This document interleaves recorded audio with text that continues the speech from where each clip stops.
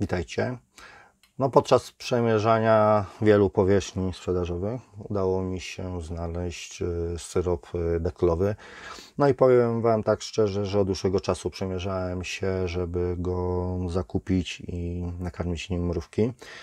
No, syrop daktylowy. Dlaczego? No, ponieważ jest to, tak jak w przypadku syropu klonowego czy syropu zagawy, syrop naturalny, który posiada dużą liczbę y, węglowodanów. Dobro jakościowo produkt powinien posiadać około 85 do 90 gramów węglowodanów na, na 100 gram, czyli bardzo dużo.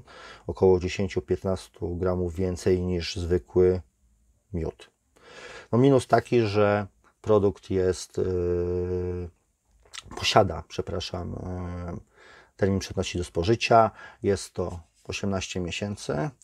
No tutaj widzimy, że y, data przydatności jest kwietniowa, czyli domniemujemy, że produkt został wyprodukowany na przełomie września i października roku 2019. No konsystencja jest gęstsza niż z syropu z zagawy i syropu y, klonowego, dosyć ciemny.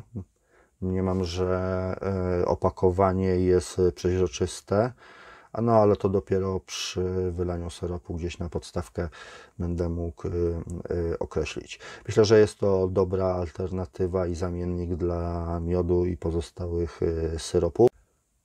No ten syrop daktylowy, który akurat trzymam w dłoni, ma około 70 gramów węglowodanów na 100 gram. Powiedzmy, że jest to średnia półka, ale myślę, że produkt dosyć wystarczający i dobry jakościowo i z czystym sumieniem można będzie nim nakarmić mrówki i nic się im nie stanie. No ale o tym przekonamy się w następnych odcinkach. Ja dołączam sobie to jako kolejny syrop, jako kolejna alternatywa do karmienia naszych małych podopiecznych. Nie zgadzam się całkowicie z tym, że miód jest jedynym produktem, który, który można karmić mrówki. Uważam to za głupotę, bzdurę i ktokolwiek szerzy takie informacje, myślę, że powinien hodować buraki cukrowe, a nie mrówki.